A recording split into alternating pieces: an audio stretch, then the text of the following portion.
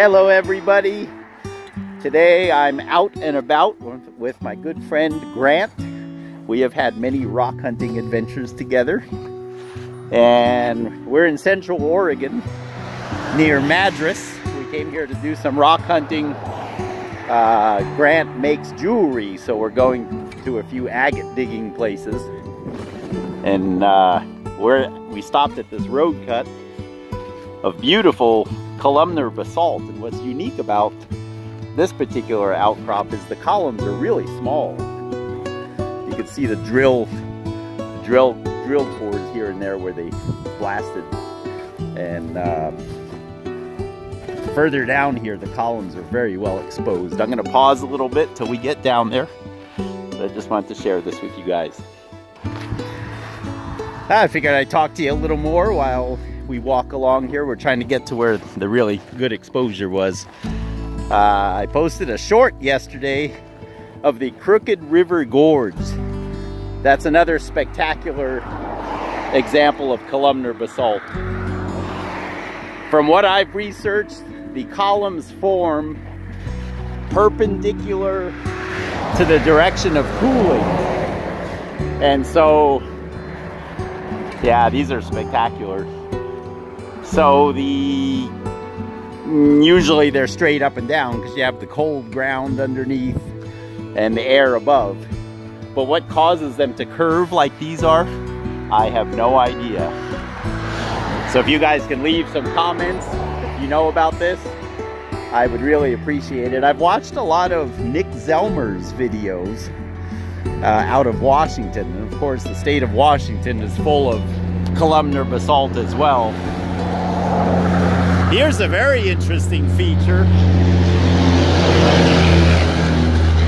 Sorry about all the noise. I'm not sure what would have caused this. It looks like it could just be from the way they drilled. You can see the cores there. But this section in the middle of the screen looks noticeably different than to the right and to the left, and I'm not sure why.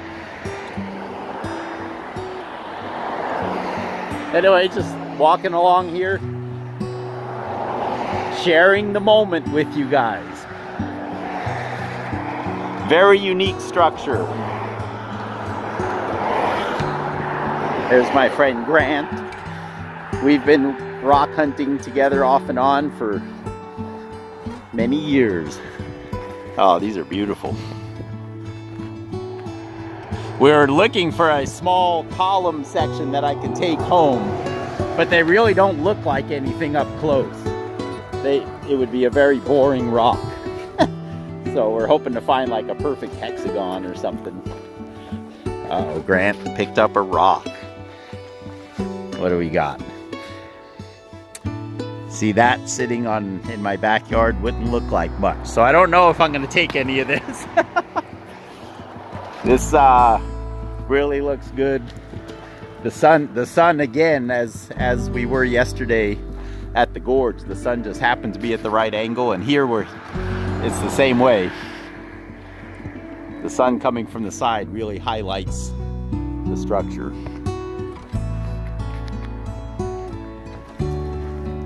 Yeah, this is really cool. Okay, I'll be right back.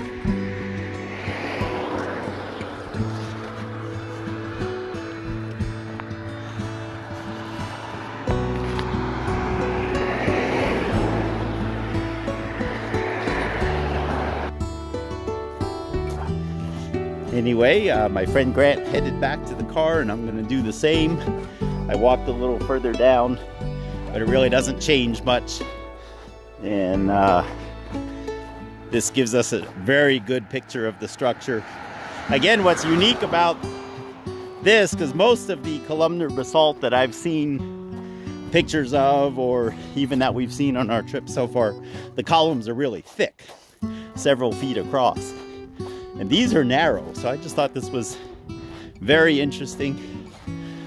And uh, I wanted to share it with my Granite Paradise family and friends. Thank you for watching.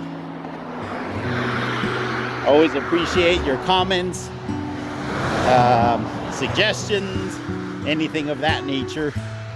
I also have added my email in the in the uh, I guess what it would be called the channel description. So you can contact me that way too, and we can talk about rocks. God bless you guys. Please like, share, and subscribe if you haven't already.